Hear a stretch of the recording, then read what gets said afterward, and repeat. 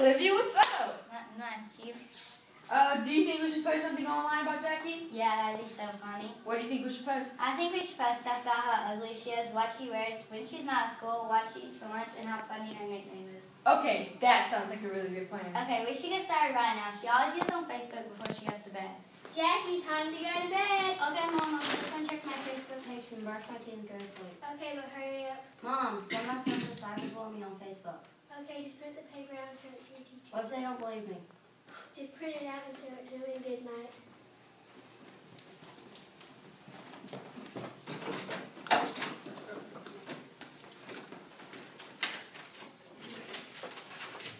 Your homework tonight is page 126, 2 through 30, 35, all. Class is over.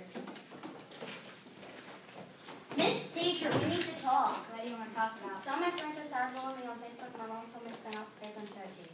Okay, Find out doing this. You just go home and get some rest and do not get on Facebook. That was our cyberbullying skit. Thanks for